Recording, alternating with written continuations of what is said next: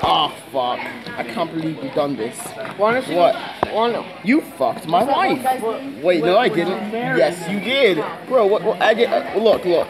She was she was laying on the couch. You just raped my wife. I I witnessed it happen. Bill, What's up, Bill? this dude, this this dude, just raped just raped my wife.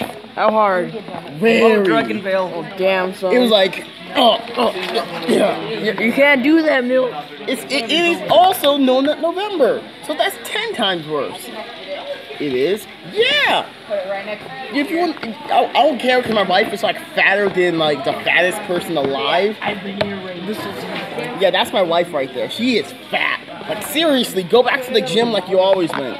Like see, you you are more fatter than my bingo. You're more fatter. You, you oh my god, you're just so fat. You're just so fat. You muted it. Yeah, man. And you, you shouldn't have did that in in December. Next month, at least like a few days, like on Saturday. You want to go rape my wife? Go ahead. You can take her. She fat. I'm getting married to Bill. Yeah, what's up, And, Bill? and Bill's a girl.